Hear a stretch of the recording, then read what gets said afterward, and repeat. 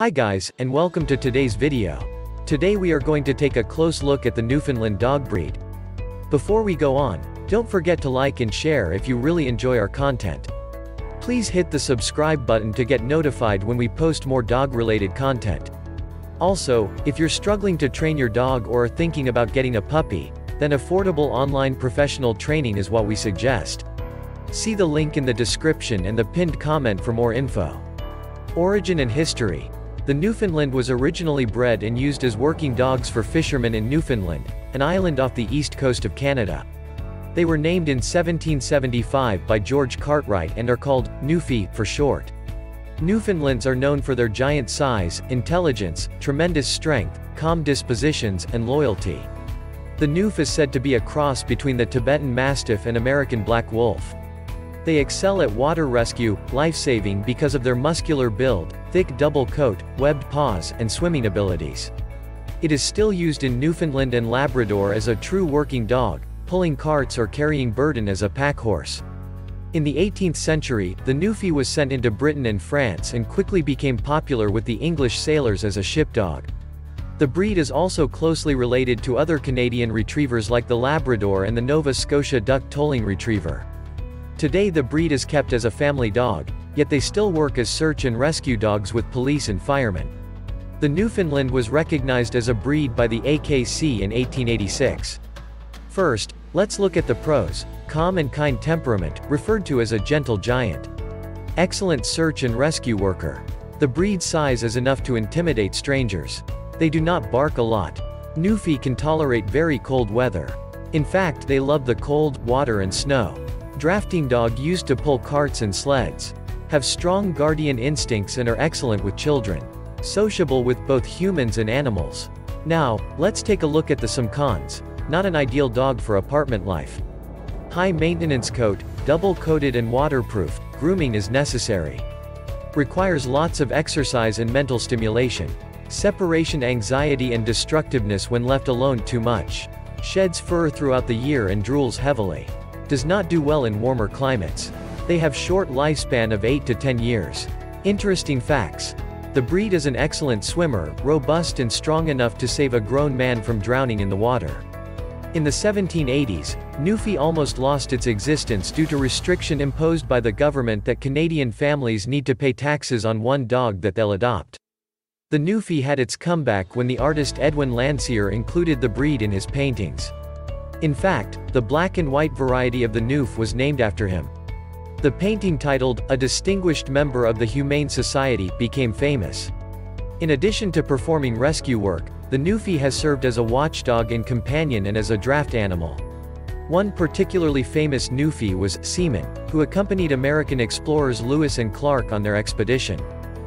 The most famous Newf dog in literature is easily Nana, the faithful protector of the darling children in J.M. Barrie's Peter Pan.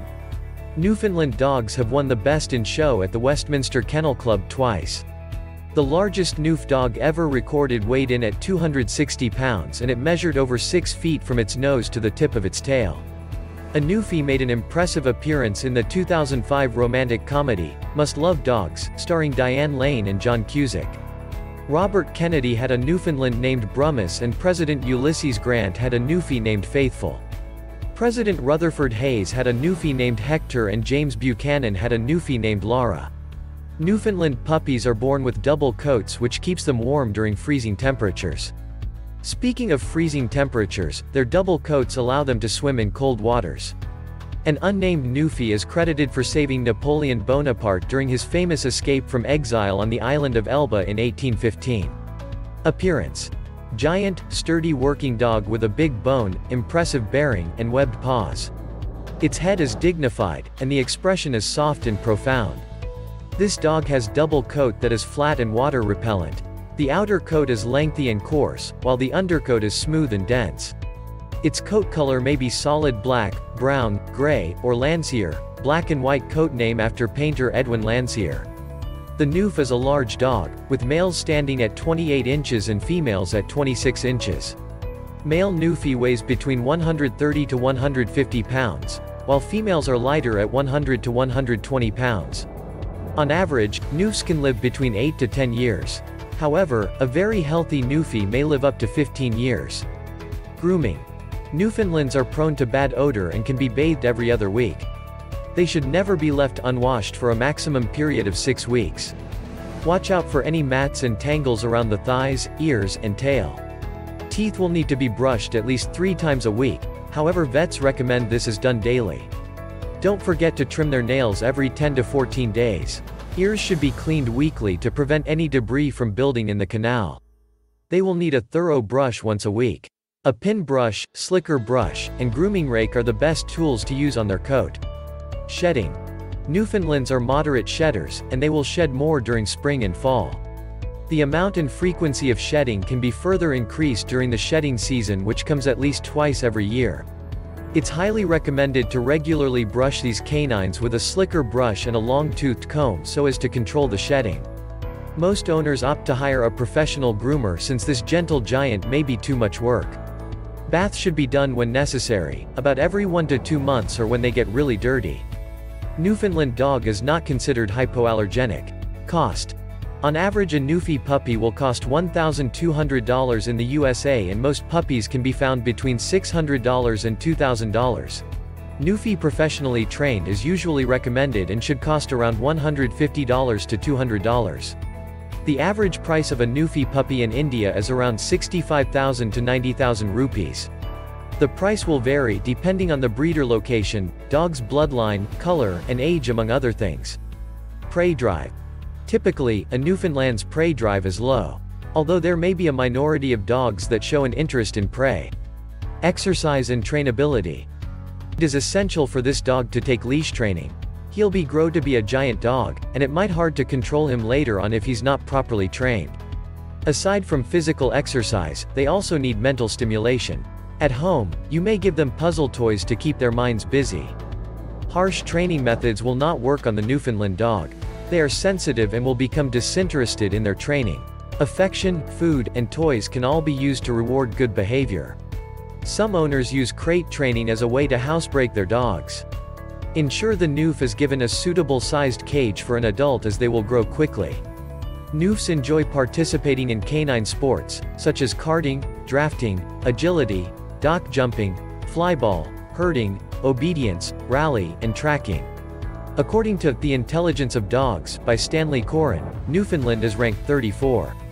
They understanding of new commands 15 to 25 repetitions and obey first command 70% of the time or better. Newfies are known to enjoy swimming in large water bodies a lot. These canines have webbed paws that help them to swim in deep waters. These pooches are natural swimmers and can be readily taken to a pool or to a beach by their owners. Barking. These pooches are not known to use their voice unnecessarily or without any reason. They mostly bark when they want to grab their loved one's attention or when they are guarding their homes. They also bark when they want to express their feelings or they want something from their family members.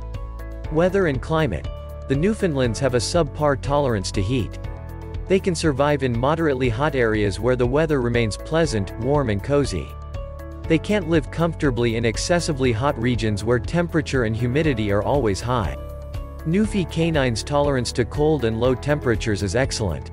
These pooches can easily thrive in fairly chilly and snowy areas.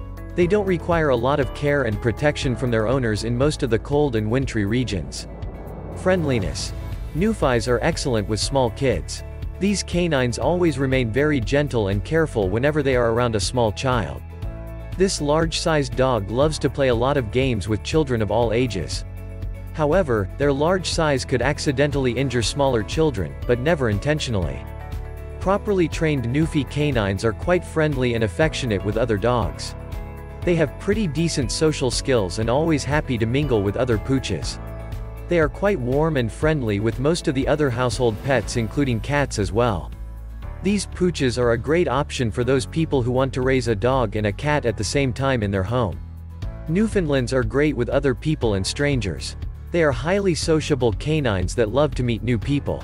They always remain very gentle and kind to most of the new people that they encounter. Adaptability. Generally Newfies are not considered to be a great fit for the apartment life mainly due to their size. If all their exercise needs are properly fulfilled, then these pooches might do okay inside an apartment. The maintenance of such a large-sized breed might be a little overwhelming for some novice or first-time owners. If someone is ready to properly fulfill all the needs of these canines, then the Newfie can be a decent breed for any kind of owner. These pooches are pretty easy to train, highly sociable, extremely loyal and faithful to their loved ones. It is not a good idea to leave a Newfoundland canine alone for extended periods of time. They require the attention and company of their loved ones to remain happy.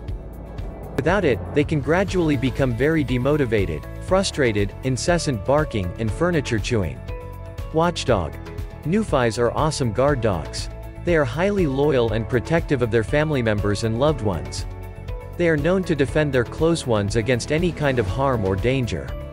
These canines are excellent watchdogs and can effectively alert their owners in case of any intruders, trespassers or burglars. Drooling. Newfies do drool a lot and can constantly slobber at most other times as well. They mostly drool quite heavily after finishing their meal or drinking their water. The owners of these canines to regularly clean their mouth with a soft cloth so as to avoid any skin allergies or issues. Health issues. For pups, don't let them engage in vigorous physical activities, such as cart pulling or jumping into hard surfaces. Their bones are not yet fully developed, making them prone to bone disorders. They are prone to heat stroke, so keep them with enough ventilation and access to water during hot weather.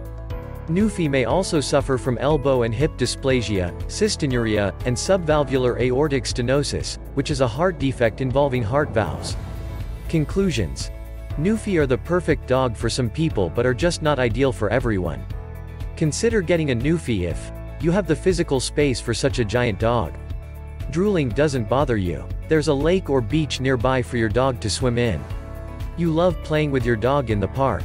You'd love to groom a giant ball of hair every day. Have you had any experience with Newfie? Tell me in the comment section. Thanks for watching this video and we will see you in the next one.